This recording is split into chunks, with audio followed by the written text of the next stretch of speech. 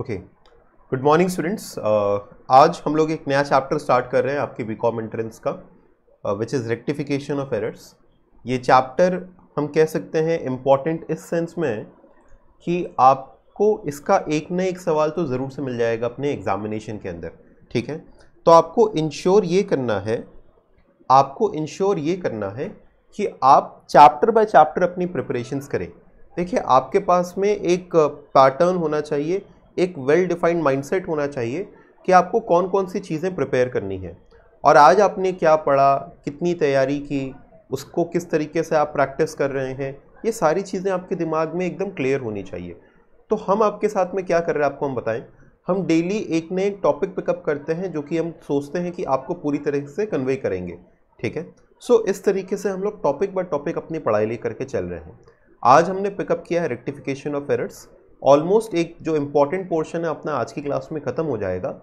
Next uh, class में इसके कुछ दो तीन सवाल भी हम आपको प्रैक्टिस करवाएँगे और फिर एक नया चैप्टर हम आपको स्टार्ट करवाएँगे जो कि हमने ऑलरेडी लिख रखा है which is B R S bank reconciliation statement ठीक है? सो so, ये अपना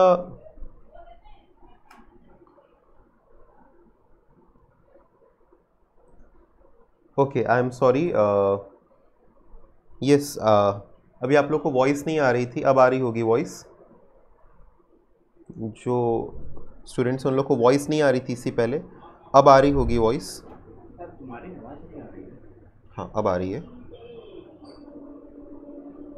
ठीक है, अब आ रही होगी वॉइस हाँ। ठीक है। चलिए। तो हम आपसे ये कह रहे थे कि आज हम लोग स्टार्ट कर रहे हैं विथ रेक्टिफिकेशन ऑफ़ एरर्स और इससे पहले भी आपसे ये कह रहे थे कि हम लोग टॉपिक बाय टॉपिक चीज़ों को पिकअप करके चलते हैं। इसमें क्या होता है कि डेली हम एक टॉपिक आपके लिए पिकअप करते हैं, जिससे हम सोचते हैं कि आपको उसके बारे में पढ़ाएँगे और फिर उसके कुछ क्वेश्चंस को हम लोग प्रैक्टिस करें, ताकि एक क्लैरिटी हम लोग के माइंड में ये हो जाए कि आज हम लोगों ने आखिर क्या पढ़ा, ठीक है?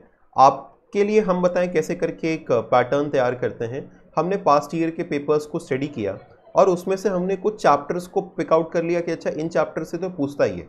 हालाँकि सिलेबस तो कुछ भी हो सकता है बट कुछ चैप्टर्स हैं जिनमें से एक ना एक सवाल तो पूछ ही लेता है। तो उन चैप्टर्स को हमने पिकअप कर लिया और उसी के हिसाब से हम लोग के प्रिपरेशन भी चल रही है ठीक है? सो so, आज जो हमने चैप्टर पिकअप किया है that is rectification of errors और इसी के ऊपर हम लोग क्वेश्चंस करेंगे। हाँ आपको बताएँ हम आपको कॉन्सेप्ट हो सकता है आज की क्लास में सिर्फ़ हाफ़ आवर या 45 मिनट सिखाएँ लेकिन 45 मिनट्स तक हम लोग सिर्फ़ और सिर्फ़ क्वेश्चंस की ही प्रैक्टिस करेंगे ठीक है? सो so, अब हम लोग स्टार्ट कर रहे हैं अपना चैप्टर रेक्टिफिकेशन ऑफ़ एरर्स इसके हम आपको बहुत ज़्यादा सब्जेक्टिव क्वेश्चंस नहीं कराएँगे, जिसके अंदर में आप लोग रेक्टिफिकेशन वाली एंट्री पास करते थे, वो नहीं करने वाले हैं हम लोग. हम लोग इस चैप्टर में क्या करने वाले हैं? कुछ क्लासिफिकेशन ऑफ़ एरर्स होते हैं. Like there are principal errors of principal there is compensating error there is error of commission या ओमिशन तो इन एरर्स के बारे में हम लोग सीखने वाले हैं. बिकॉज़ आपके एमसीक्यू में और स्पेसिफिकली आपके एंट्रेंस एग्जामिनेशन में यही चीज़ ज़्यादा पूछता है। सो so, ये हम लोग का आज का टॉपिक होने वाला है। नेक्स्ट क्लास में हालाँकि हम आपको एक दो फुल फ्लेजेड क्वेश्चंस भी करवाएँगे। तो तैयार हैं आप लोग?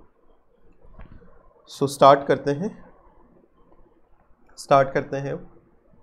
देखिए सुनिए ध्यान से। जब हमारे बुक्स ऑफ़ अकाउंट्स में कोई गलती हो जाए जब हमारे बुक्स ऑफ़ अकाउंट्स में कोई गलती हो जाए तो हम लोग ये नहीं कर सकते हैं कि उसको कट कर दीजिए और कट करने के बाद फिर उसको सही कर लीजिए। उसको कट करके सही करना कभी भी एक ऑप्शन नहीं होता है। जैसे से फॉर एग्ज़ाम्पल से फॉर एग्ज़ाम्पल अगर हमने कैश सेल्स की है हज़ार रुपये की, अगर हमने कैश सेल्स की है हज़ार रुपये की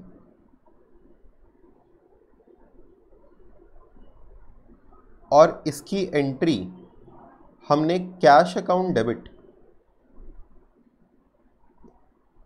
to sales account hundred rupees करके कर दी। तो अगर हमें इसको रेक्टिफाई करना है, हमें इसको ठीक करना है तो ये बताइए क्या ये ऑप्शन नहीं हो सकता लास्ट में एक ज़ीरो जोड़ दे। अगर हमको इसको बस ठीक ही करना है तो लास्ट में एक ज़ीरो ऐड कर देते हैं तो क्या दिक्कत हो जाएगी? क्यों हम लोग ऐसा एक चैप्टर पढ़ें जिसमें हम ये सीखें कि नहीं, इसको रेक्टिफाई करने के लिए एक अलग एंट्री पास करनी चाहिए। ये तरीका बिल्कुल भी ठीक नहीं है और हमें इसको रेक्टिफाई करने के लिए एक अलग एंट्री पास करनी चाहिए। और अगर नौ सौ रुपये से हमने कम लिखा है, आप देख सकते हैं लिखना था हज़ार से, नौ सौ रुपये से कम लिखे हैं तो वापस से हमको cash account debit to sales account नौ सौ रुपये वापस से लिख देने चाहिए। लेकिन ये नहीं करना चाहिए कि लास्ट में ज़ीरो जोड़ करके ठीक कर दें। ये इसके रेक्टिफिकेशन का तरीका होना चाहिए। ना कि ये कि लास्ट में एक ज़ीरो जोड़ दीजिए तो ठीक हो जाएगा या आ, कट करके इसको वापस से लिख दीजिए। ऐसा हम लोग क्यों करते हैं? कि आप लोग ये बता पाएँगे? क्यों यही सही तरीका है और ऊपर वाला तरीका सही नहीं है?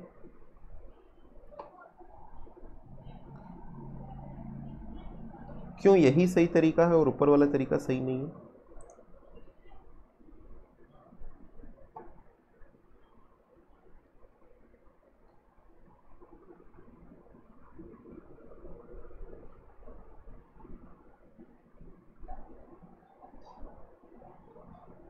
Because all calculations are already made on the wrong amount.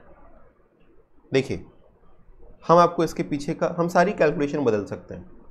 लेकिन हम आपको इसके पीछे का नहीं, ऐसा भी नहीं है कि they affect the balance sheet इसके पीछे का हम आपको मेन रीज़न बताते हैं। हर एक गलती बैलेंस शीट को अफेक्ट करे, ऐसा भी ज़रूरी नहीं है। लेकिन आपको इसके पीछे का मेन रीज़न बताते हैं। इसके पीछे का मेन रीज़न ये है कि हमारे books of accounts books erase या ऐसा करने से authenticity yes very good Swada has answered it correctly Swada has answered the correct answer हम अपने बुक्स की ऑथेंटिसिटी को चेंज नहीं कर सकते। लोग हमारे अकाउंट्स को ये देख करके विश्वास करते हैं कि उसमें जो भी लिखा है वो सही लिखा है और सही सोर्सेस से लिखा गया है। अगर इस तरीके से कट करके हम उसके ऊपर कुछ भी लिखने लगे तो कोई भी अकाउंटेंट या कोई भी पर्सन उसके ऊपर कट करके कुछ भी लिख देगा और फिर कहेगा कि अच्छा ठीक है, ये तो हमने करेक्शन किया था। ठीक है? जैसे आप लिख करके गए से फॉर एग्जांपल पाँच हज़ार, बाद में आकर के कोई उसको लिख करके चला गया चार हज़ार, आपको तो मालूम ही नहीं चलेगा कि वो करेक्शन आपने किया है या उसने किया है। तो करेक्शंस अलाउड नहीं होते हैं। बुक्स ऑफ़ अकाउंट्स को बहुत ध्यान से प्रिपेयर किया जाता है। अगर आप उसी के अंदर में कटिंग कर रहे हैं, इसका मतलब कि वो सही है या गलत है, वो सही इंसान ने किया या गलत इंसान ने किया, वो कोई नहीं बता पाएगा। और साथ ही साथ हम लोग को दूसरा एक रीज़न इसका ये हो सकता है कि हम लोगों के सामने ये गलती कई बार तब आती है जब हमारे फाइनल अकाउंट्स तैयार हो चुके होते हैं। एक और जो ऊपर आपने लिखा था कि ऑल कैलकुलेशंस आर मेड इसके जगह हम कह सकते हैं कि हमारे फाइनल अकाउंट्स कई बार तैयार हो चुके होते हैं। तो हम उन फाइनल अकाउंट्स को चेंज न करें या उन फाइनल अकाउंट्स में बहुत ज़्यादा चेंजेस न करने पड़े, इस वजह से भी इस तरीके से रेक्टिफिकेशन एंट्री पास करते हैं। बट जो इसका मेन रीज़न है, हम वही कहेंगे कि it is just to ensure कि जो हमारे बुक्स ऑफ़ अकाउंट्स हैं, उनकी ऑथेंटिसिटी बनी रहे। उनके अंदर में ऐसा ना हो कि कभी भी कोई कह सके कि आपके अकाउंट्स तो आज ये हैं, कल कुछ और हो जाएँगे। नहीं अकाउंट्स वही रहेंगे। अगर कुछ गलत है तो उसके लिए फर्दर हम रेक्टिफिकेशन करेंगे। उसी में बदलाव नहीं कर देंगे। चलो आगे बढ़ते हैं। ये तो एक कॉन्सेप्ट समझाने के लिए था। अब देखो, हम गलतियाँ कई बार कई अलग अलग स्टेजेस में कर सकते हैं। जब हम अपने एंट्रीज़ को रिकॉर्ड कर रहे हैं तो कई अलग अलग स्टेजेस में गलतियाँ हो सकती हैं।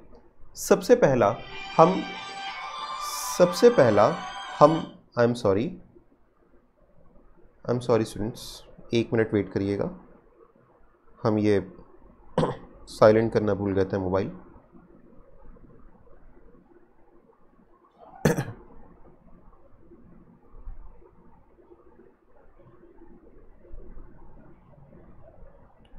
चलिए। सो so, सबसे पहली गलती हम तब कर सकते हैं जब हम एंट्री को रिकॉर्ड कर रहे हैं ठीक है? तो गलतियाँ अलग अलग स्टेजेस में हो सकती हैं। देखिए कब कब हो सकती है। When we are in the recording stage of the transaction जब हम किसी भी ट्रांजेक्शन को रिकॉर्ड कर रहे हैं तब गलती कर सकते हैं। Number two when we are posting the entries in the ledger जब हम किसी एंट्री को पोस्ट कर रहे हैं तब गलती हो सकती है। Number three when we are balancing the ledger जब हम लेजर्स की बैलेंसिंग करते हैं, उस समय हम उसका अमाउंट ज़्यादा या कम ले सकते हैं। अब इसमें ये कौन कौन सी गलतियाँ हो सकती हैं, इसके ऊपर भी हम आएँगे। एंड नंबर फोर जब हम ट्रायल बैलेंस प्रिपेयर कर रहे हैं, हो सकता है उस समय जो सही अमाउंट हमें कैरी फॉरवर्ड करना था ट्रायल बैलेंस में, वो हमने कैरी फॉरवर्ड नहीं किया। तो हमने गलत लिख दिया, या फिर हमने गलत बुक में लिख दिया, या हमने लिखा ही नहीं मतलब लिखने में कोई गलती हो गई। या तो फिर लेजर में पोस्टिंग में गलती हो गई। लेजर से जब हम ट्रायल बैलेंस में ले जा रहे थे, तब गलती हो गई। किसी भी स्टेज में हमारी मिस्टेक हो सकती है। ठीक है? अब हम अपने मेन डिस्कशन पर आते हैं। अब हम अपने मेन डिस्कशन पर आते हैं कि कौन कौन से टाइप ऑफ़ मिस्टेक्स हो सकते हैं। तो चार टाइप्स ऑफ़ मिस्टेक आपको पढ़ने हैं। यही आपसे एमसीक्यू में पूछा जाता है तो हम सीधे इसी टॉपिक के ऊपर जम कर रहे हैं। ठीक है? चार टाइप्स ऑफ़ मिस्टेक है जो कि आपको पढ़ने हैं। एक है error of principle error of commission error of omission in compensating errors चार टाइप के एरर्स आपको पढ़ने हैं। यही आपके एमसीक्यू के लिए ज़्यादा इंपॉर्टेंट है। हम अपने आप को एग्ज़ाम के हिसाब से थोड़ा रिस्ट्रिक्ट कर रहे हैं। जो ज़्यादा रेलिवेंट है, उसी के ऊपर ज़्यादा फोकस से डिस्कशन कर रहे हैं। तो आपको चार टाइप के एरर्स के बारे में पढ़ना है। Error of principle error of omission error of commission और कंपेंसेटिंग एरर्स अब ये एरर ऑफ़ प्रिंसिपल क्या होता है? सबसे पहले इसके बारे में हम लोग जानते हैं। सबसे पहले हम लोग समझते हैं कि एरर ऑफ़ प्रिंसिपल क्या होता है। देखिए एरर ऑफ़ प्रिंसिपल क्या होता है? जब हम किसी, कोई प्रिंसिपल वाला एरर कर रहे हैं अच्छा प्रिंसिपल वाले एरर का मतलब क्या? जब हम अपने अकाउंटिंग प्रिंसिपल को सही से फॉलो नहीं कर रहे हैं। अच्छा अकाउंटिंग प्रिंसिपल क्या कहते हैं? जैसे एक्रूवल के प्रिंसिपल्स हैं, जैसे आपका मैचिंग कॉन्सेप्ट है, जैसे हम लोग कहते हैं कि कैपिटल एक्सपेंडिचर है तो उसको रेवेन्यू नहीं मानना चाहिए रेवेन्यू है तो उसको कैपिटल नहीं मानना चाहिए मैचिंग कॉन्सेप्ट जिसको कि हम लोग कहते हैं। तो all this is a part of क्या? All this is a part of your principles अगर आप अपने प्रिंसिपल को सही तरीके से फॉलो नहीं कर रहे हैं तो फिर it will be called as an error of principle मतलब आपने अगर कैपिटल एक्सपेंडिचर को रेवेन्यू एक्सपेंडिचर मान लिया आपने रेवेन्यू को कैपिटल मान लिया? या फिर से फॉर एग्ज़ाम्पल आपने एक्रूवल कॉन्सेप्ट को फॉलो नहीं किया तो ऐसे कोई सी भी अगर आप गलती कर रहे हैं तो उसे हम लोग एरर ऑफ़ प्रिंसिपल कहते हैं। इसको हम लोग अपने एग्जाम्पल्स के थ्रू बाद में और भी समझेंगे। जैसे एक छोटे छोटे एग्ज़ाम्पल हम आपको लेते हैं। आप बताइएगा, सिर्फ़ इतना क्लासिफाई करके कि हम जो खर्चे कह रहे हैं, वो एक कैपिटल एक्सपेंडिचर है या रेवेन्यू एक्सपेंडिचर है।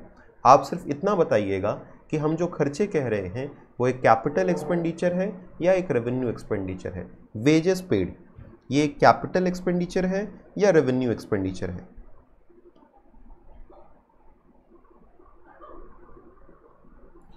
वेजेस पेड ये कैपिटल है या रेवेन्यू है? यस yes, ये रेवेन्यू एक्सपेंडिचर है। अच्छा अगर हम कहें अगर हम कहें wages paid for construction of a building. Wages paid for construction of a building.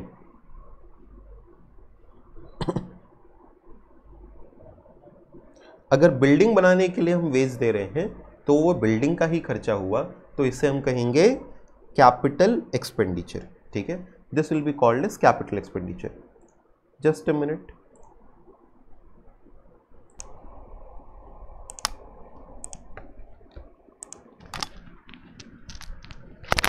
okay I am sorry students एक कॉल कंटिन्यूसली आ रहा था सो so इस वजह से उसको हैंडल करना पड़ा।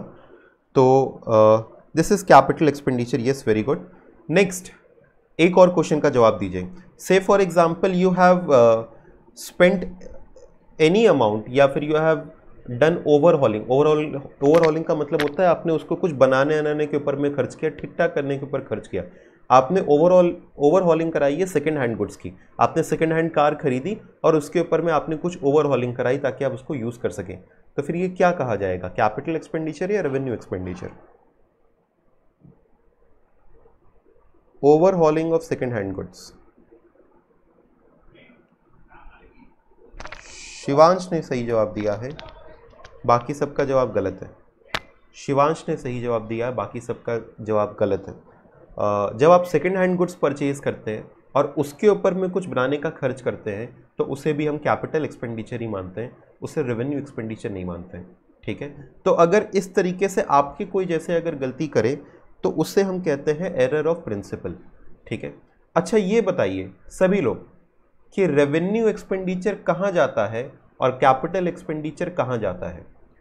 किसी भी चीज़ को अगर हम रेवेन्यू एक्सपेंडिचर माने या किसी चीज़ को कैपिटल एक्सपेंडिचर माने उसमें क्या फ़र्क होता है? रेवेन्यू एक्सपेंडिचर कहाँ जाता है और कैपिटल एक्सपेंडिचर कहाँ जाता है? तभी हम समझ पाएँगे कि ये एक्चुअल में गलती क्या हो रही है। Yes revenue expenditure profit and loss में जाता है और कैपिटल एक्सपेंडिचर बैलेंस शीट में जाता है। Revenue expenditure will go into profit and loss and capital expenditure will go into balance sheet ठीक है? Yes revenue expenditure will be shown in profit and loss and capital expenditure will be shown in balance sheet ठीक है? तो अगर हम revenue वाले को capital मान लें या फिर कैपिटल वाले को रेवेन्यू मान लें तो ऑब्वियसली अगर हम रेवेन्यू वाले को कैपिटल मान लें या कैपिटल वाले को रेवेन्यू मान लें तो उससे ऑब्वियसली फिर जो हमारे अकाउंट्स हैं वो अफेक्ट होंगे। हमारा प्रॉफिट ज़्यादा या कम हो सकता है बैलेंस शीट की फिगर्स ज़्यादा या कम हो सकती हैं। तो हम लोग को बहुत ध्यान देना पड़ता है कि हम लोग जो भी रिकॉर्डिंग कर रहे हैं, उसमें सही प्रिंसिपल का फॉलो करें। ठीक है? सिमिलरली हम किसी कैपिटल रिसीप्ट को हो सकता है रेवेन्यू रिसीप्ट के तौर पे मान लें। जैसे हमने कहा कि हमने लोन लिया। हमने लोन लिया। तो लोन लेना एक कैपिटल रिसीप्ट है या रेवेन्यू रिसीप्ट है? बताइए। लोन लेना एक कैपिटल रिसीप्ट है या एक रेवेन्यू रिसीप्ट है? क्या ये आपकी रेवेन्यू इनकम से जुड़ा हुआ है या नहीं जुड़ा हुआ है? लोन लेना एक कैपिटल रिसिप्ट है या रेवेन्यू रिसिप्ट है? लोन लेना एक कैपिटल रिसिप्ट है। ये आपके रेवेन्यू से जुड़ा हुआ नहीं है। यस ओके लाइबिलिटी साइड में जाएगा ये। वैसे ही फ्रेश कैपिटल इंट्रोड्यूस करना एक कैपिटल रिसिप्ट है। लेकिन अगर हम कहें कि आपको इंटरेस्ट मिला, आपको इंटरेस्ट मिला आपको इंटरेस्ट मिला या आपने इंटरेस्ट दिया तो ये रेवेन्यू रिसीप्ट है या फिर रेवेन्यू एक्सपेंडिचर है ठीक है? सो so, चलो तो आप लोग समझ रहे होंगे कि एरर ऑफ़ प्रिंसिपल में कैसी गलती की जा सकती है। सभी लोग बताइए क्या एरर ऑफ़ प्रिंसिपल क्लियर है? क्या एरर ऑफ़ प्रिंसिपल क्लियर है? किसी को एरर ऑफ़ प्रिंसिपल में डाउट है? कैसी गलती की जा सकती है? ठीक है। हमें आपको एरर ऑफ़ प्रिंसिपल एक्चुअली समझाने की कोई खास ज़रूरत भी नहीं थी। हमें बस आपको ये समझाना था कि कैपिटल एक्सपेंडिचर को रेवेन्यू कैसे माना जा सकता है या रेवेन्यू को कैपिटल कैसे माना जा सकता है। ठीक, बढ़िया। अच्छा अगले एरर को नाम दिया गया, अगले हेड को नाम दिया गया क्लरिकल एरर तो आप देख सकते हैं कि आपके एरर्स को दो हेड में क्लासिफाई किया गया। एक क्लासिफाई किया गया एज एरर ऑफ़ प्रिंसिपल और एक क्लासिफाई किया गया as clerical errors error of principle and clerical errors error of principle हमने आपको बता दिया। और जो दूसरे सभी टाइप टाइप ऑफ़ एरर्स हैं, उनको क्लेरिकल एरर्स उनको क्लेरिकल एरर्स नाम दिया गया। क्लेरिकल एरर्स का मतलब क्या? देखो एरर ऑफ़ प्रिंसिपल एक क्लेरिकल एरर नहीं है। क्लर्क का काम क्या हो गया? क्लर्क एक लोएस्ट लेवल पे आ गया। उसका काम है केवल चीज़ों को लिखना। सही तरीके से, सही किताब में लिख देना। और उसके ऊपर में सही लॉजिक लगाया गया है कि नहीं लगाया गया है? कैपिटल है या रेवेन्यू है, ये किसी क्लर्क की नॉलेज की बात नहीं है। क्लर्क का काम है केवल आपने उसको सही किताब में लिखा या नहीं लिखा, ये देखना। अब उसको कैपिटल एक्सपेंडिचर मानना था या रेवेन्यू एक्सपेंडिचर मानना था, ये क्लरिकल काम नहीं है। तो एरर ऑफ़ प्रिंसिपल एक अलग डिवीज़न हो गया और उसके अलावा जितने भी एरर्स हैं, उनको क्लरिकल एरर कहा जाता है। ठीक है? तो एरर ऑफ़ प्रिंसिपल अलग है क्लरिकल एरर्स अलग है। क्लरिकल एरर्स के अंदर में ही ये तीनों एरर्स आते हैं। तो आप हालाँकि कभी भी क्लासिफिकेशन क्लरिकल एरर नहीं देखेंगे, क्योंकि क्लरिकल एरर में तीनों आते हैं। अलग कौन है? Errors of principle clerical error में तीन एरर्स हैं। एक है एरर ऑफ़ ओमिशन दूसरा है एरर ऑफ़ कमीशन और तीसरा है कंपेंसेटिंग एरर अब देखो, इसके अंदर में आप ओमिशन और कंपेंसेटिंग बहुत आसानी से समझ जाएँगे। कमीशन आपको पकड़ने में थोड़ा टाइम लगेगा, हालाँकि थोड़ी प्रैक्टिस के बाद आप वो भी समझ जाएँगे। माई गारंटी लेकिन अगर आप ओमिशन और कंपेंसेटिंग बड़ी आसानी से पकड़ पा रहे हैं एरर ऑफ़ प्रिंसिपल हम लोग बड़ी आसानी से कैच कर पा रहे हैं तो जो बचा रह जाएगा वो ऑब्वियसली एरर ऑफ़ कमीशन हो जाएगा। एक बार नंबर की बात। कि भाई तीन हमने आसानी से पकड़ लिया, जो बचा रह गया वो ऑटोमेटिकली एरर ऑफ़ कमीशन हो गया। हालाँकि एरर ऑफ़ कमीशन भी आपको सिखा देंगे बट ये तरीका भी आप फॉलो करेंगे जब हम लोग आगे एम करने वाले होंगे तब। तो error of omission error of omission देखिए दो तरीके से हो सकता है। एक हो सकता है पार्शियल ओमिशन एक हो सकता है फुल ओमिशन ओमिशन का मतलब क्या? छूट गया। अब हमने क्या चीज़ छोड़ दी? हो सकता है हमने उसको लिखा ही नहीं बुक्स ऑफ़ अकाउंट्स में। पूरी की पूरी एंट्री ही नहीं लिखी।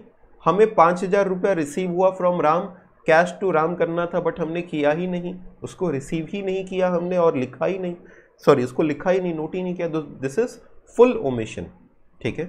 दूसरा हो सकता है पार्शियल ओमिशन कि हमने कैश बुक में तो लिख दिया था, लेकिन जब हमको राम के अकाउंट में, राम के लेजर में इसको लिखना था तो हमने नहीं लिखा। तो this is called as partial omission तो एक फुल ओमिशन हो सकता है, या एक पार्शियल ओमिशन हो सकता है। इसमें गलती क्लर्क की है तो इसलिए हम क्लरिकल एरर भी कहते हैं। ठीक है? तो ओमिशन का मतलब क्या? छूट गया। या तो लिखना छूट गया, या तो उसको पोस्ट करना छूट गया। ठीक है? कोई सी भी गलती इसके अंदर में हो सकती है। तो इट में बी कंप्लीट ओमिशन पूरी तरीके से नहीं लिखा, या पार्शल ओमिशन हमने उसको पोस्ट करना था तो सही तरीके से पोस्ट नहीं किया। ठीक है? अगर पोस्ट नहीं किया किसी एक अकाउंट में तो एक में तो सही होगा, दूसरे वाले में गलत होगा। This is error of omission next है error of commission error of commission क्या होता है? इसके बारे में समझते हैं। इसको जनरली आप अमाउंट वर्ड से रिलेट कर सकते हैं। जब भी आप कोई गलत अमाउंट लिख देते हैं या फिर आप गलत अकाउंट में लिख देते हैं या फिर आप गलत साइड में लिख देते हैं, अगर आप जो भी गलती करें से फॉर एग्जांपल आपने यहाँ पे देखिए एक बार ध्यान से कौन कौन सी चीज़ें रॉन्ग अकाउंट में लिख दिया मतलब लिखना था राम में आपने लिख दिया शाम में, या फिर लिखना था सेल्स में आपने लिख दिया परचेजेस में, आपने गलत साइड में लिख दिया, आपको डिस्काउंट रिसीव्ड के क्रेडिट साइड में लिखना था, आपने डेबिट साइड में लिख दिया, या फिर आपने टोटलिंग गलत की, या फिर आपने बैलेंसिंग गलत की मतलब अमाउंट के अंदर में भी कोई गलती है तो इस तरीके के एरर्स को भी हम लोग एरर ऑफ़ कमीशन कहते हैं। तो एरर ऑफ़ कमीशन सबसे वाइड आपका केस हो गया, जिसके अंदर में ढेर सारे तरह की गलतियाँ आ गई। अमाउंट से जुड़ी हुई गलतियाँ अकाउंट से जुड़ी हुई गलतियाँ रॉन्ग साइड में posting wrong totalling wrong balancing हर एक तरह की गलती किसमें आ गई? एरर ऑफ़ कमीशन ये सबसे वाइड वैरायटी है मतलब इसमें सबसे ज़्यादा चीज़ें आ गई। इसे हम लोग कह रहे हैं एरर ऑफ़ कमीशन और लास्ट क्या है? लास्ट है आपका कंपेंसेटिंग एरर्स कंपेंसेटिंग एरर को आप ध्यान से अब समझिए। हम लोग कई बार क्या आ, समझ लेते हैं स्टूडेंट्स को हमने क्या देखा इंटरप्रेट करते हुए? हम लोग का मतलब आप लोग हुआ ठीक है? तो कंपेंसेटिंग एरर्स के अंदर में हम लोग क्या समझ लेते हैं कि ऐसे एरर जिनसे ट्रायल बैलेंस अफेक्ट नहीं होगा। नहीं आपको अगर कंपेंसेटिंग एरर पहचानना है तो आपको तो सबसे पहले ये देखना पड़ेगा कि दो गलतियाँ दिखाई देनी चाहिए आपकी सवाल में। दो गलतियाँ होनी चाहिए। एकदम कैच कर लो। दो गलती होगी तभी हम इसके बारे में सोचेंगे भी। और जब दो गलतियाँ मिलकर के एक सच एक सही बना दे तो हम कहेंगे कंपेंसेटिंग एरर जैसे क्या? जैसे से फॉर एग्ज़ाम्पल जैसे से फॉर एग्ज़ाम्पल हमको दो एंट्री पास करनी थी. एक cash to sales cash debit to sales सौ रुपये सौ रुपये और दूसरा परचेजेस टू कैश और दूसरा purchases to cash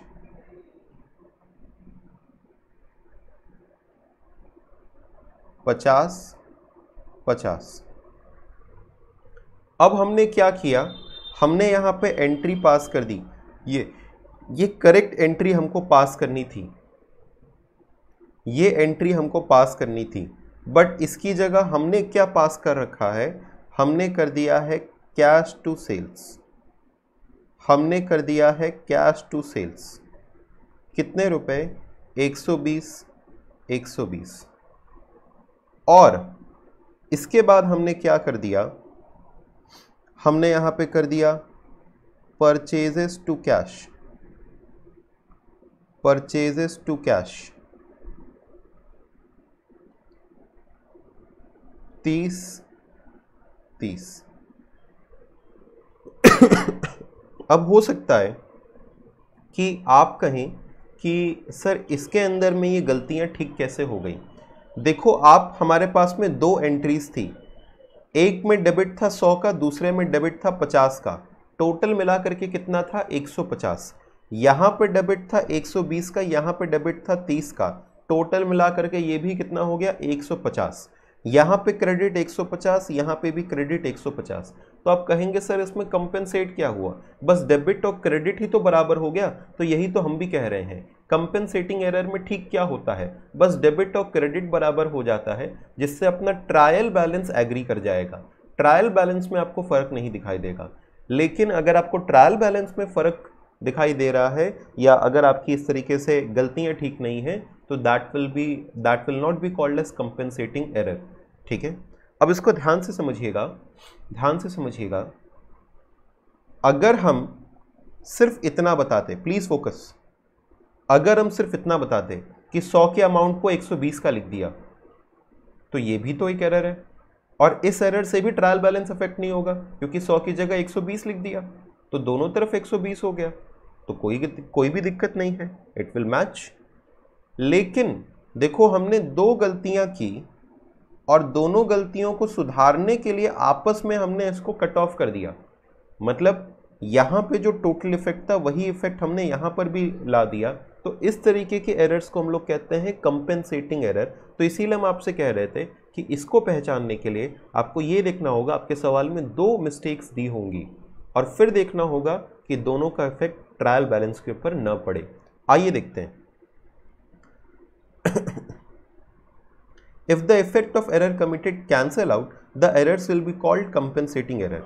The trial balance will agree. Suppose an amount of rupees 10 received from A is not credited to his account and the total of sales book is rupees 10 in excess.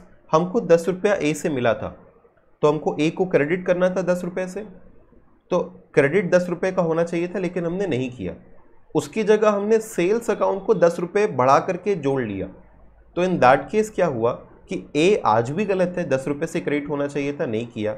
Sales book हमने दस रुपये से बढ़ा के कर दिया तो sales book भी दस रुपये से गलत है, लेकिन एक तरफ़ दस रुपये का क्रेडिट नहीं किया, कम किया, एक तरफ़ दस रुपये का क्रेडिट ज़्यादा कर दिया, आपस में एरर कैंसिल आउट हो गए तो हमारा ट्रायल बैलेंस एग्री कर जाएगा।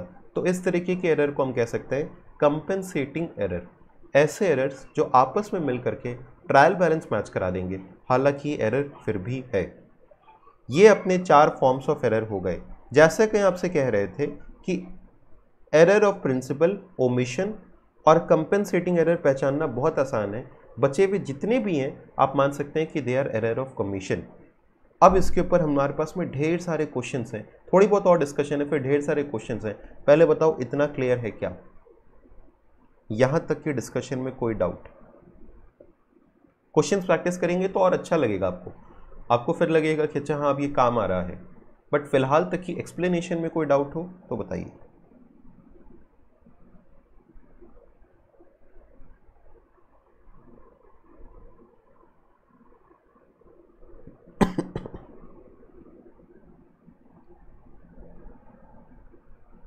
एरर ऑफ़ ओमेशन एक बार फिर से समझा दें। कंपेंसेटिंग एक बार फिर से बता दें। ठीक है। एरर ऑफ़ ओमिशन के बारे में समझते हैं। जैसे से फॉर एग्ज़ाम्पल हमने सेल्स किया और हमने सेल्स रिकॉर्ड ही नहीं किया। हमने सेल्स किया और हमने सेल्स रिकॉर्ड ही नहीं किया। हमने आपसे कैश रिसीव किया और कैश को रिकॉर्ड ही नहीं किया। तो अगर हमने किसी भी एंट्री को रिकॉर्ड ही नहीं किया तो इससे हम कहते हैं फुल ओमिशन मतलब उसका कहीं हिसाब किताब आपको नज़र ही नहीं आएगा। फुल ओमिशन और एक होता है पार्शियल ओमिशन उसके अंदर में क्या होता है कि हमने आपसे मिला हुआ कैश रिकॉर्ड किया ठीक है? लेकिन उसको आपके अकाउंट में पोस्ट नहीं किया। तो कैश अकाउंट में, कैश बुक में तो दिखाई देगा, बट आपके अकाउंट में वो पैसा दिखाई नहीं देगा। तो that will be called as partial omission ये दो तरीके के ओमिशन हो सकते हैं। रिकॉर्ड ही नहीं किया, या हमने उसको पोस्ट करना था पोस्ट नहीं किया तो that will be called as error of omission फिर इसके बाद कंपेंसेटिंग एरर्स के लिए हमसे पूछा गया तो कंपेंसेटिंग एरर में क्या होता है? दो गलतियाँ करते हैं, लेकिन दोनों गलतियों का ट्रायल बैलेंस के ऊपर इफ़ेक्ट सेम हो जाता है। जैसे से फॉर एग्जांपल हमने आपसे कहा कि हमने जो परचेज बुक है, उसका टोटल दस रुपये से ज़्यादा जोड़ दिया तो डेबिट दस रुपये से ज़्यादा आ गया। टोटलिंग करते वक्त परचेज बुक का, जब परचेज बुक का टोटल करते हैं तो हमको मिलता है परचेज अकाउंट तो जब टोटलिंग की हमने परचेज बुक की सो so, उससे हमको जो मिला अच्छा नहीं परचेज बुक के टोटल और कैश वाला भी देखना होगा। चलो हमने परचेज अकाउंट का जो टोटलिंग किया उसको हमने दस रुपये से ज़्यादा कर दिया ठीक है? तो परचेज अकाउंट की टोटलिंग आ रही थी नौ सौ हमने जोड़ करके कर दिया नौ सौ दस। तो दस रुपये से डेबिट ज़्यादा हो गया। लेकिन यही सेम गलती हमने सेल्स में भी कर दी। सेल्स की भी टोटलिंग हमने दस रुपये से ज़्यादा कर दी। तो दस रुपये का डेबिट ज़्यादा हो गया गलती से लेकिन दूसरी तरफ़ दस रुपये का क्रेडिट भी ज़्यादा हमने गलती से जोड़ दिया। तो दो गलतियाँ आपस में मिल करके कैंसिल आउट हो गई। ठीक है? तो जो आपका ट्रायल बैलेंस है, वो एग्री कर गया। हालाँकि आज भी डेबिट गलत है, आज भी क्रेडिट गलत है परचेज बुक में आज भी गलती है सेल्स बुक में आज भी गलती है। हम ये नहीं कह रहे हैं कि दोनों गलतियाँ आपस मिल करके सही हो गई हैं, लेकिन हाँ ये गलती आपको ट्रायल बैलेंस में नज़र नहीं आएगी। क्योंकि आपका ट्रायल बैलेंस आज भी डेबिट और क्रेडिट मैच कर जाएगा। बस इसलिए इसका नाम है कंपेंसेटिंग एरर क्लियर है ये? बाकी हम लोग इसको एग्जांपल्स के थ्रू भी समझेंगे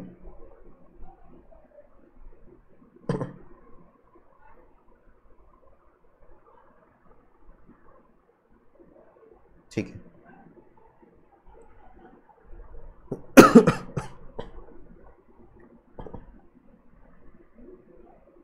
चलिए, आइए एक एक्सरसाइज कर लेते हैं।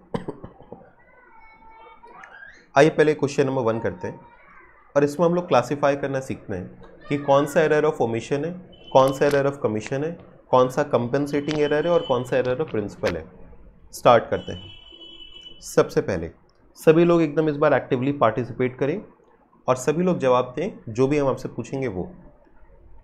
Number one purchase goods from Bharadwaj on credit of rupees six hundred छः सौ रुपये का खरीदा बट वह recorded in the purchase book as rupees six thousand छः हज़ार रुपये का रिकॉर्ड कर दिया हमने।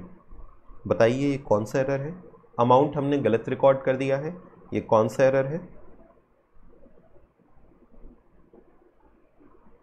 This is B error of commission ठीक है, आप ए बी सी डी करके भी जवाब दे सकते हैं। A is omission B is commission C compensating E error of principle. ठीक है सभी का जवाब आया एरर ऑफ़ कमीशन बिल्कुल सही है क्योंकि यहाँ पे आपने एक टर्म पकड़ा होगा अमाउंट। अमाउंट की गलती है ठीक है तो ये क्या हो गया error of commission. Number two amount paid for proprietor's life insurance. Proprietor का जो लाइफ इंश्योरेंस हम लोग पे करते हैं आ, कोई बताएगा इसकी एंट्री क्या होती है? जो प्रोप्राइटर का लाइफ इंश्योरेंस पे करते हैं, उसकी एंट्री क्या होती है? प्रोप्राइटर का लाइफ इंश्योरेंस की एंट्री क्या होती है?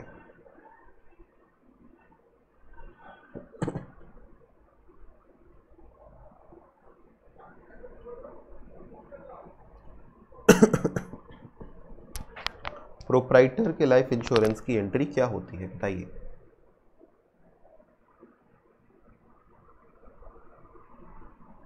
Drawing account debit to cash yes drawing account को हम लोग डेबिट करते हैं। जब लाइफ इंश्योरेंस पे करते हैं तो लाइफ इंश्योरेंस एक पर्सनल एक्सपेंस है, इसलिए हम लोग ड्राइंग अकाउंट को डेबिट करते हैं। ड्राइंग अकाउंट को डेबिट करने के बजाय, इन्होंने जनरल एक्सपेंस अकाउंट को डेबिट कर दिया। अब आप बताइए कि ये कौन सा एरर है? D D error of principle ठीक है? आपको मालूम है ये एरर ऑफ़ प्रिंसिपल क्यों है? ये एरर ऑफ़ प्रिंसिपल है बहुत बढ़िया बहुत बढ़िया, शानदार। आपको मालूम है एरर प्रिंसिपल क्यों है? क्योंकि इन्होंने बिज़नेस एंटिटी कॉन्सेप्ट को नहीं समझा। ये बिज़नेस एंटिटी कॉन्सेप्ट को नहीं समझ पा रहे हैं कि बिज़नेस और जो उसका ओनर है वो अलग अलग एंटिटीज़ हैं। शाबाश। बहुत बढ़िया। Point number three goods amounting to rupees two thousand have been return to Chakravarti but no entry has been made in the books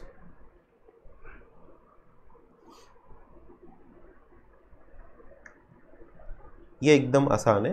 हाँ सबसे आसान A error of omission A error of omission ठीक है? Number four number four सभी को आ रहा है? Number four an excess debit of rupees forty five hundred has been made in the account of X whereas Y's account has been credited by rupees five thousand instead of rupees five hundred साढ़े चार हज़ार रुपये से ज़्यादा debit कर दिए। और जो क्रेडिट करना था पाँच पाँच सौ से इंस्टेड ऑफ़ पाँच सौ मतलब पाँच सौ से करना था, लेकिन कर कितने से दिए? पाँच हज़ार से। अब बताओ ये कैसा एरर है?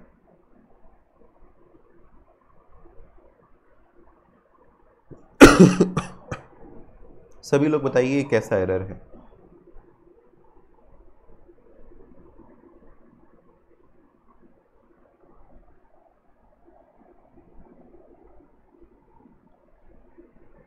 ये आपका सबने जवाब दिया कंपेंसेटिंग कुछ लोग, नहीं, सबने जवाब दिया, कई लोगों ने जवाब दिया बी एरर ऑफ़ कमीशन कुछ लोगों ने जवाब दिया कंपेंसेटिंग ठीक है, सुनिए। यहाँ पे हम कह सकते हैं अमाउंट की गलती तो है बट आप साथ ही साथ में देखिएगा, ये दो गलतियाँ हैं। पकड़ो, हमने एकदम पकड़ने का सही तरीका आपको बताया है। दो गलतियाँ हैं। और दोनों गलतियाँ आपस में एक दूसरे के इफ़ेक्ट को कैंसिल कर रही हैं। कैसे? एक तरफ़ डेबिट ज़्यादा कर दिए एक्स के अंदर, साढ़े चार हज़ार रुपये का डेबिट ज़्यादा कर दिए और पाँच सौ की चीज़ को पाँच हज़ार लिख दिए तो क्रेडिट ज़्यादा कर दिए साढ़े चार हज़ार से तो डेबिट भी ज़्यादा हो गया फोर थाउज़ेंड फाइव हंड्रेड से क्रेडिट भी ज़्यादा हो गया फोर थाउज़ेंड फाइव हंड्रेड से। तो आपस में ये दोनों कैंसिल हो गए ट्रायल बैलेंस आपस में मैच कर जाएगा। तो हम कहेंगे it is compensating errors this is compensating error this was easy to catch आपको देखना चाहिए था, दो एरर हैं और दोनों का डेबिट और क्रेडिट का इफ़ेक्ट आपस में मैच कर रहा है. दिस इज़ कंपेंसेटिंग एरर्स चलो next try goods sold to Suresh for rupees six fifty was recorded as rupees five sixty in the sales book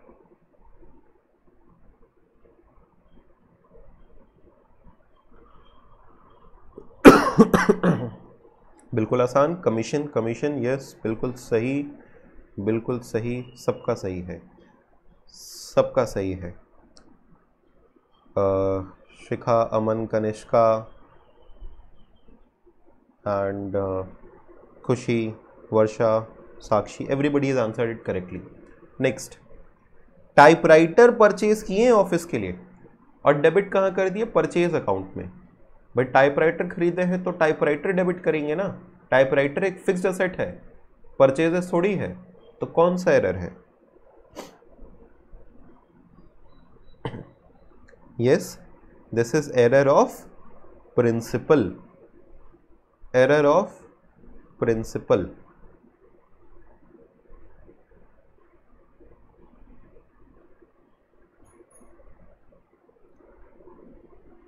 wages paid for construction of building, rupees 15000 were recorded in wages account. Construction of building के लिए wages दिया और उसको building wages account में लिख दिए। ठीक है या गलत है? अगेन ये भी क्या है? Error of principle yes this is again error of principle और लास्ट देखना। Goods for rupees five hundred have been taken by the proprietor for his personal use for which no entry has been pass in the books उसके लिए entry pass करनी चाहिए थी, लेकिन कोई भी एंट्री हमने पास की ही नहीं है। तो yes this is omission okay very good सबका सही जवाब है। चलो तो ये आ रहा है। ये आ रहा है हम लोग को।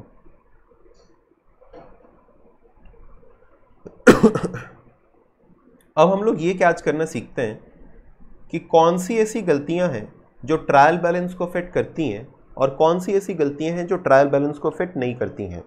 अगेन हमको एमसीक्यू में आता है कि which of the following will affect trial balance या which of the following will not affect trial balance देखो एक ऐसी गलती है जो हम लोगों ने ऊपर टाइप्स पढ़े, उसमें से एक ऐसी गलती है जो कि कभी भी आपके ट्रायल बैलेंस को अफेक्ट नहीं करेगी इनफैक्ट कह सकते हैं दो ऐसी गलतियाँ हैं जो कि ट्रायल बैलेंस को अफेक्ट नहीं करती हैं।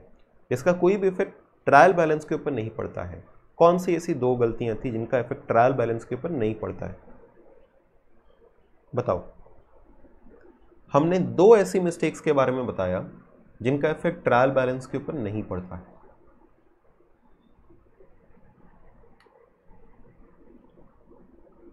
सबसे पहले तो कंपेंसेटिंग एरर्स सबसे पहले तो कंपेंसेटिंग एरर्स कंपेंसेटिंग वाले। इनका कोई भी इफ़ेक्ट इनका कोई भी इफ़ेक्ट ट्रायल बैलेंस के ऊपर नहीं पड़ता है। No effect in trial balance these are compensating errors compensating वाला ठीक है, चलो। इसके अलावा एक जवाब आया नहीं भी कंपेंसेटिंग का ही मेनली एक जवाब आ रहा है। इसके अलावा आप ये सोचो एरर ऑफ़ प्रिंसिपल का भी क्या इफ़ेक्ट पड़ेगा आखिर? देखो ट्रायल बैलेंस तभी टैली नहीं करता है जब डेबिट और क्रेडिट सही सही न लिखा जाए। ट्रायल बैलेंस तभी टैली नहीं करता है जब डेबिट और क्रेडिट बराबर बराबर न लिखा जाए। मतलब हमने डेबिट ज़्यादा लिख दिया, क्रेडिट कम लिख दिया या फिर क्रेडिट ज़्यादा लिख दिया, डेबिट कम लिख दिया या पोस्टिंग के अंदर में गलती कर दी, डेबिट या क्रेडिट हमने सही तरीके से दोनों सही अमाउंट को फॉलो नहीं किया। मतलब डुअल एस्पेक्ट हम जहाँ पे फॉलो नहीं कर रहे हैं। डेबिट और क्रेडिट जहाँ भी हम बराबर बराबर नहीं कर रहे हैं, वहाँ पर हमें दिक्कत आएगी। तो एरर ऑफ़ प्रिंसिपल में तो ऐसी कोई गलती ही नहीं होती थी। गलती तो ये होती थी कि हम रेवेन्यू वाले को कैपिटल मान लेते थे या कैपिटल वाले को रेवेन्यू मानते थे। लेकिन डेबिट और क्रेडिट तो दोनों का बराबर बराबर ही करते थे। वह जितना डेबिट करते थे, उतना ही क्रेडिट करते थे। उसमें तो कोई दिक्कत ही नहीं थी। तो ट्रायल बैलेंस क्यों नहीं एग्री करेगा? ट्रायल बैलेंस में तो बस डेबिट क्रेडिट को मिला के देखते हैं। तो एरर ऑफ़ प्रिंसिपल में भी ट्रायल बैलेंस के ऊपर कभी भी कोई इफ़ेक्ट नहीं पड़ेगा। इन दो चीज़ों का कोई भी इफ़ेक्ट ट्रायल बैलेंस के ऊपर नहीं पड़ता। और थर्ड है, उसके बारे में भी हम आपको बताते हैं, जिसका कभी भी ट्रायल बैलेंस के ऊपर कोई इफ़ेक्ट नहीं पड़ता, वो है फुल ओमिशन।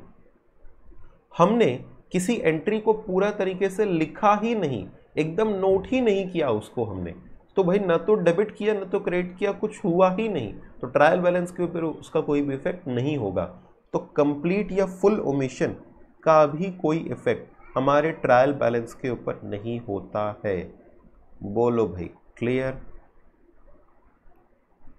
सारे के सारे जवाब देंगे। क्लियर एकदम बढ़िया से समझ में आया कि नहीं आया ये चीज़? कौन सी ऐसी चीज़ें जिनका ट्रायल बैलेंस के ऊपर कोई इफ़ेक्ट नहीं पड़ता है? कंपेंसेटिंग और एरर ऑफ़ प्रिंसिपल और फुल ओमिशन तो किनका इफ़ेक्ट होता है? किनका इफ़ेक्ट होता है? जो पार्शियल ओमिशन होते हैं। जो पार्शियल ओमिशंस होते हैं। उनका इफ़ेक्ट होता है। जो एरर ऑफ़ कमीशन होते हैं, उसके अंदर में भी देखिए कुछ एरर्स एरर ऑफ़ कमीशन में भी कुछ का इफ़ेक्ट नहीं होता है और कुछ का इफ़ेक्ट होता है। कौन से ऐसे एरर ऑफ़ कमीशन है जिनका इफ़ेक्ट नहीं होता है? जैसे अगर हमने रॉन्ग अकाउंट में पोस्टिंग किया but on the correct side हमको राम के खाते में क्रेडिट करना था, हमने श्याम के खाते में क्रेडिट कर दिया। हमको परचेज में डेबिट करना था, हमने कैश में डेबिट कर दिया। अरे डेबिट तो कर दिया ना सही जगह पर। तो जब तक साइड की गलती नहीं है डेबिट क्रेडिट की गलती नहीं है, तब तक कोई दिक्कत नहीं है। मतलब अगर हमने कहा कि there is wrong account but correct side there is wrong account but correct side की जो पोस्टिंग है तो इस गलती से भी ट्रायल बैलेंस के ऊपर कोई इफ़ेक्ट नहीं पड़ेगा। बट बट अगर हमने रॉन्ग साइड में पोस्टिंग किया, या फिर अगर हमने रॉन्ग टोटलिंग किया रॉन्ग टोटलिंग में आपको दो चीज़ें मिलेंगी। एक ओवरकास्ट और एक अंडरकास्ट ओवरकास्ट मतलब ज़्यादा जोड़ लिया अंडरकास्ट मतलब कम जोड़ लिया। तो जब किसी एक बुक को हम ओवरकास्ट या अंडरकास्ट करते हैं जैसे कैश बुक को हमने ओवरकास्ट कर दिया या फिर सेल्स बुक को ओवरकास्ट कर दिया तो उससे फिर हमारे जो कोई एक पर्टिकुलर अकाउंट है उसके ऊपर इफ़ेक्ट आता है। तो आ, हम कहेंगे कि उसका भी इफ़ेक्ट ट्रायल बैलेंस के ऊपर आएगा। अब इस चीज़ को आप फटाफट नोट कर लीजिए ताकि अब इसके ऊपर बेस्ड क्वेश्चंस भी हम लोग कर सकें। इतनी सी चीज़ को आप फटाफट नोट कर लीजिए ताकि इसके ऊपर क्वेश्चंस हम लोग कर सकें।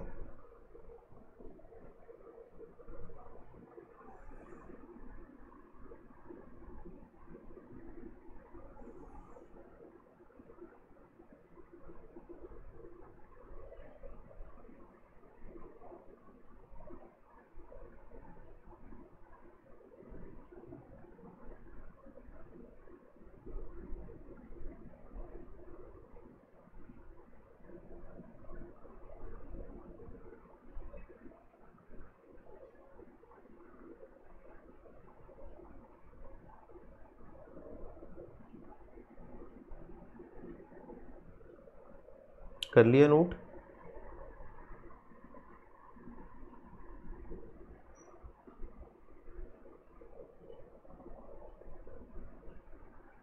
चलो नोट हो गया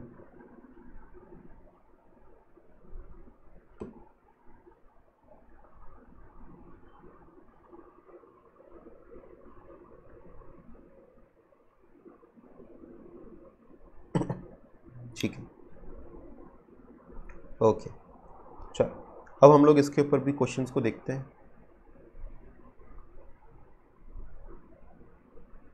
देखिए question number two question number two which of the following will affect which of the following will affect the trial balance the total of sales book has not been posted to the sales account rupees 1000 paid as installation charge of a new machine has been debited to repairs account. This is error of principle. हमको debit करना था, machine में हमने debit कर दिया repairs में, लेकिन debit तो किया है। Goods costing rupees four thousand taken by the proprietor for personal use has been debited to debtors account again this is this is an error of this is an error of we can say commission it has been posted to the wrong account या इसे हम error of principal भी कह सकते हैं।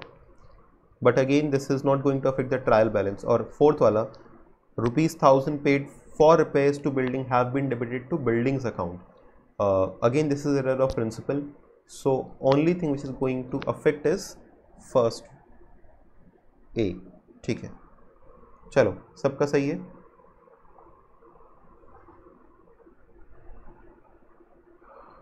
Question number three which of the following is not an error of commission इसमें से कौन सा एक एरर ऑफ़ कमीशन नहीं है?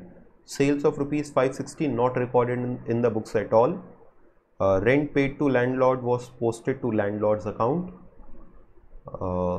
is not an error आपसे पूछ रहा है, ये ध्यान दीजिएगा। मतलब इसमें से तीन एरर ऑफ़ कमीशन होंगे और कोई एक होगा जो कि एरर ऑफ़ कमीशन नहीं होगा। Purchase rupees four eighty was wrongly posted to sales account instead of creating sham another creator sham was being created. And uh, the correct answer is a. Yes. Okay very good. ठीक है सभी सही जवाब दे रहे हैं। तो अब हम लोग आइडेंटिफाई करना सीख चुके हैं। Question number four which of the following error will not affect the trial balance wrong balancing of an account wrong totalling of an account omission of an account from the trial from the trial balance and writing the amount in the wrong account but on the correct side will not affect the trial balance wrong balancing wrong totaling omission या writing an amount in the wrong account but on the correct side ठीक है ठीक है ठीक है ठीक है समझ गए आ रहा है बस ठीक है ठीक है समझ गए वेरी गुड कोई बड़ी बात नहीं है इजी है हमको मालूम है आप लोग कर सकते हैं question number 5 rupees 10000 received from apurva okay very good uh, rupees 10000 received from apurva is credited to the account of prachi it is an error of it is an error of check okay very good सही जवाब आया it's not A it's C commission ठीक है बिल्कुल सही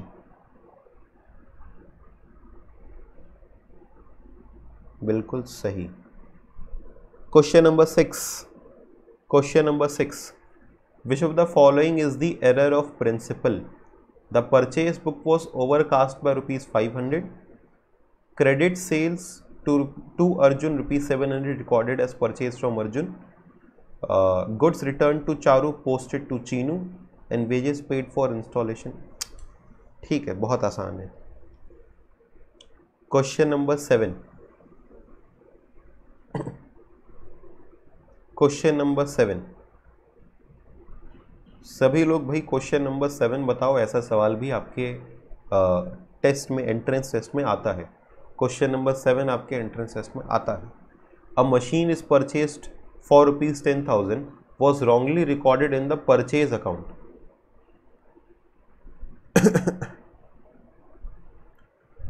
machine is purchased for rupees 10000 was wrongly recorded in the purchase account. दस हज़ार रुपये की परचेज की है हमने मशीनरी और इसको परचेज अकाउंट में हमने रिकॉर्ड कर दिया है। तो due to this error what will happen yes okay okay ठीक है। Trial balance will not show any difference very good because हमको डेबिट करना था किसको?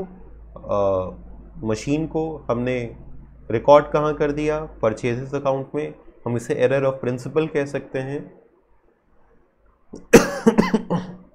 और इसकी वजह से trial balance will not show any difference एक डेबिट की जगह दूसरा डेबिट हो गया बट डेबिट तो हुआ है। ये बताना। Goods purchase from A for rupees ten thousand has been pass through sales book the error will result in सभी लोग ये बताइए। ए से हमने परचेज किया है टेन थाउज़ेंड के गुड्स और इसको हमने सेल्स बुक से पास कर दिया। The error will result in increase in gross profit decrease in gross profit no effect on gross profit either A और बी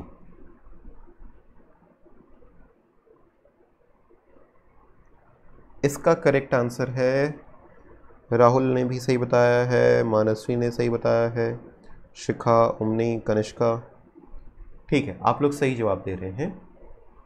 आप लोग सही जवाब दे रहे हैं इट इज़ ए अब क्या हमको कोई ये बता सकता है? ठीक, बस समझ गए। अब ये बताओ तो हम जाने कि इसमें कितने अमाउंट का डिफरेंस आएगा। ग्रॉस प्रॉफिट इंक्रीज हो जाएगा, ठीक है। बताओ ग्रॉस प्रॉफिट कितने से इंक्रीज हो जाएगा? ग्रॉस प्रॉफिट कितने से इंक्रीज हो जाएगा, बताओ।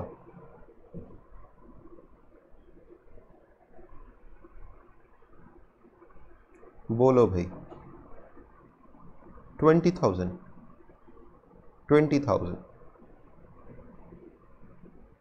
Twenty thousand. ठीक है। क्या करना था हमको डेबिट? क्या कर दिए हम क्रेडिट? डेबिट क्यों करना था? परचेज में डेबिट करते हैं।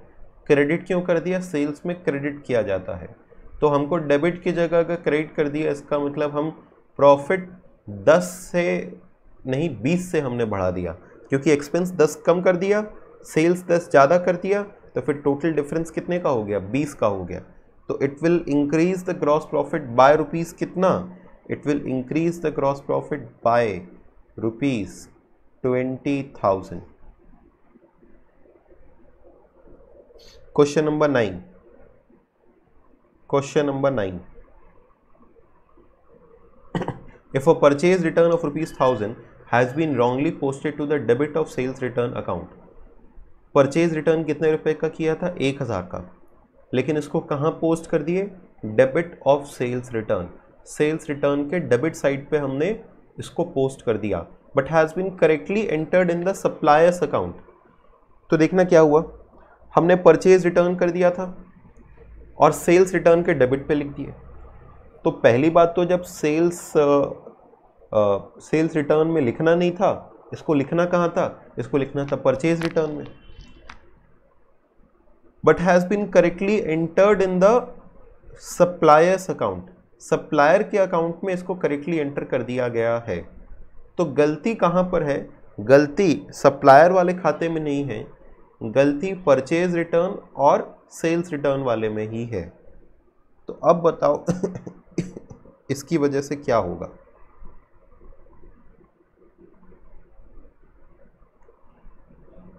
आराम से आराम से पढ़ लीजिए, बट सही जवाब दीजिए।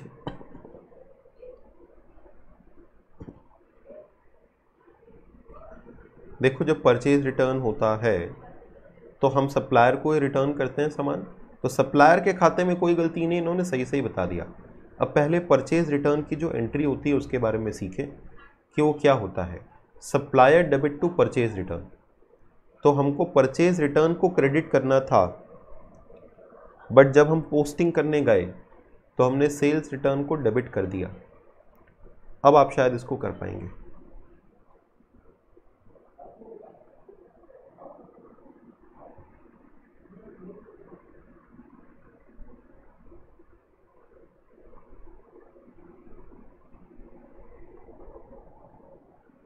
एक आंसर आया D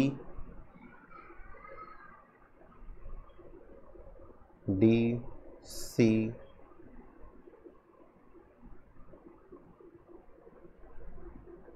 Roshni, Singh C, Aman D, Sakshi D, Kanishka C, उमने C, Mansi C, Aman C. Khushi, A. देखो, खुशी, पहले तो आप ये समझो कि जब हम रॉन्ग साइड में पोस्टिंग करते हैं तो डबल अमाउंट की ही गलती होती है। तो डेबिट की जगह क्रेडिट हुआ है या क्रेडिट की जगह डेबिट हुआ है ऐसी कोई गलती है तो आपको डबल सम डबल अमाउंट की गलती दिखाई देगी।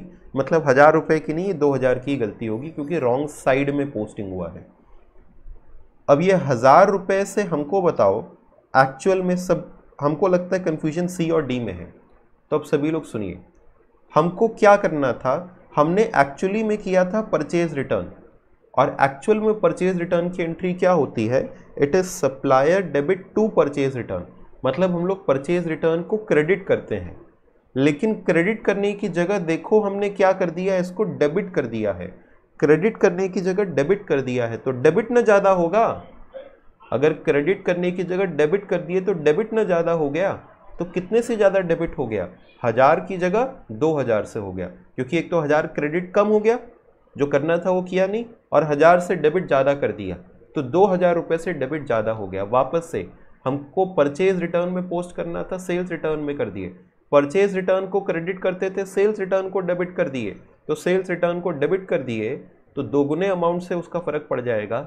Debit will become more by two thousand answer is C the debit of trial balance will be rupees two thousand more than the credit side बोलो क्लियर जितने भी लोग डी लिख रहे थे, अब पहले वो बताएँ।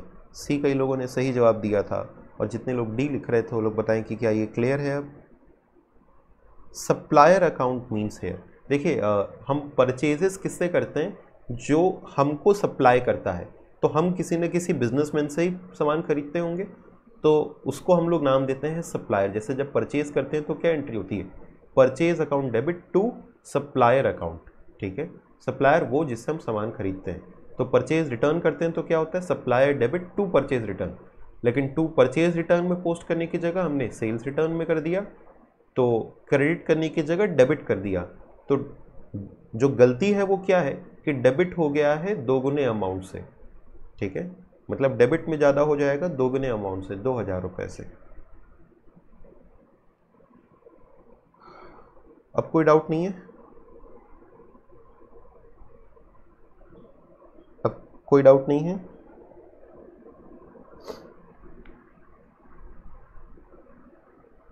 आपने ये डाउट पूछा था मानसी आपको क्लियर हो गया?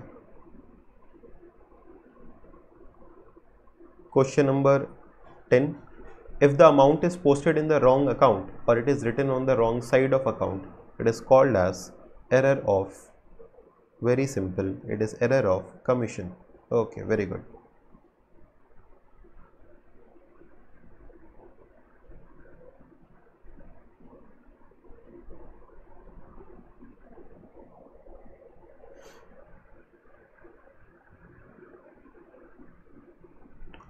अब स्टूडेंट्स बाकी के जितने भी क्वेश्चंस हैं, जो आपके बुक में दिए हुए हैं, ये हम आपके लिए छोड़ रहे हैं कि आप इसको ट्राई कर लीजिए। ओके वेरी गुड आप लोग को अब ट्राई करने आ गया है। बाकी के शीट में जितने भी क्वेश्चंस हैं, ये हम आप लोगों के लिए छोड़ रहे हैं। ठीक है? एक चीज़ आपको बता दें कि जब भी ट्रायल बैलेंस जिन भी एरर्स में ट्रायल बैलेंस एग्री नहीं करता है, उन सभी एरर्स में हम लोग सस्पेंस अकाउंट ओपन करते हैं, ठीक है? In case trial balance does not agree in case trial balance does not agree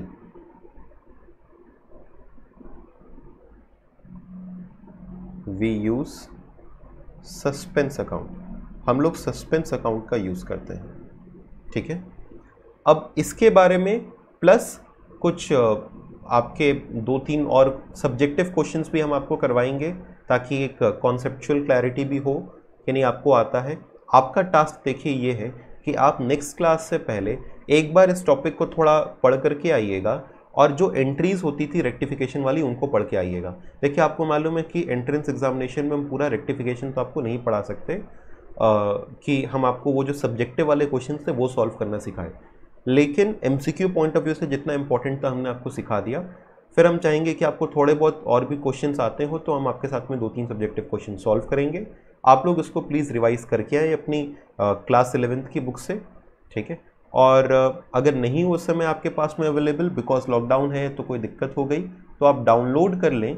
कोई भी सॉफ्ट कॉपी जैसे एन e वगैरह अवेलेबल हो जाती है, लेकिन कुछ ना कुछ आप रिवाइज करके, फिर कल की क्लास के लिए आप तैयार रहें। कल की क्लास से हम लोग इस टॉपिक को फिनिश करेंगे और एक नया टॉपिक भी इनफैक्ट स्टार्ट करेंगे which is B R S bank reconciliation statement एक और चीज़ हम आपसे कहना चाहेंगे अब uh, इसके क्वेश्चंस आपको बताएँ बी एच यू में आने वाले जितने भी पास्ट एग्ज़ाम क्वेश्चंस हैं बी uh, कॉम के पेपर के उनको हम आपके साथ में प्रैक्टिस करवाएँगे uh, उनको हम एक अलग सेक्शन में प्रैक्टिस करवाएँगे। हम कुछ लाइव सेशंस लेते हैं ऑन यूट्यूब एज वेल आप में से कई लोग करते भी होंगे। तो उसकी डेट इनफैक्ट हम आपको अभी बता देंगे। आप मेरे चैनल से भी उसको देख सकते हैं। बट आई थिंक हमने एक टेस्ट मंडे को अनाउंस किया है। एक टेस्ट हमने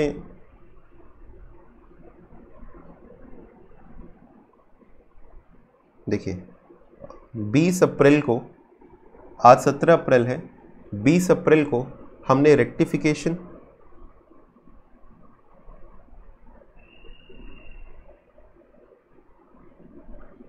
ये सर कल भी है एक ऑन सेवनटीन नहीं कल कोई ऐसा नहीं है।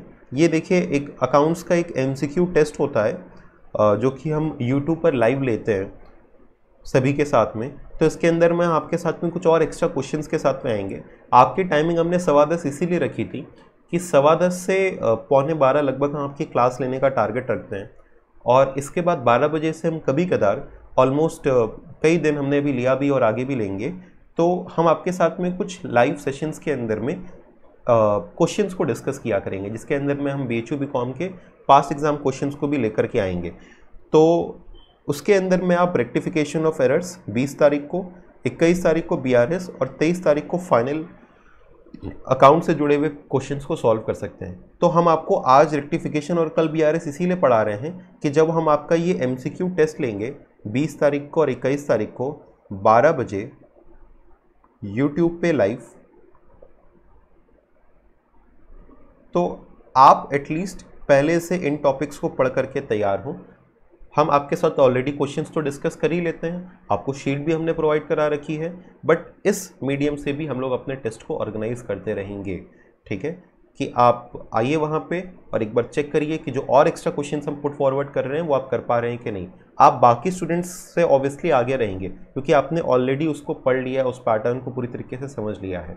तो आप चेक करिए कि आप जो क्वेश्चन अभी सामने आएँगे उस समय उनको आप कर पा रहे हैं कि नहीं कर पा रहे हैं ठीक है? सो इस मीडियम से भी हम लोग अपने पढ़े हुए चैप्टर्स को रिवाइज करते जाएँगे।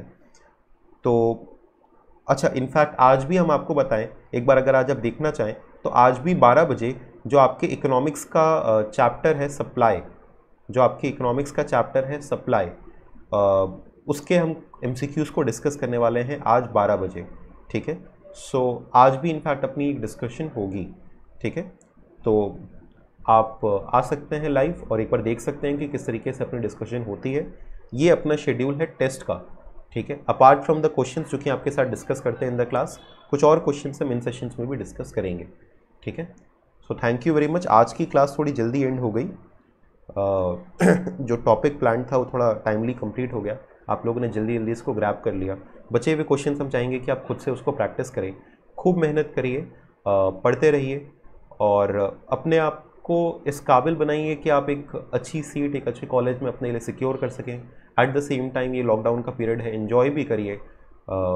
अपनी फैमिली के साथ में इतना अच्छा एक टाइम स्पेंड कर सकते हैं, वो करिए। And do take very good care of yourself as well ठीक है? Thank you very much friends bye bye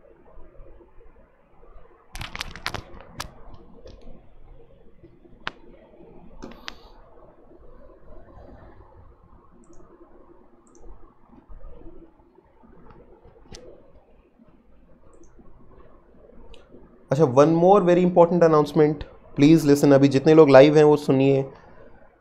One more very important announcement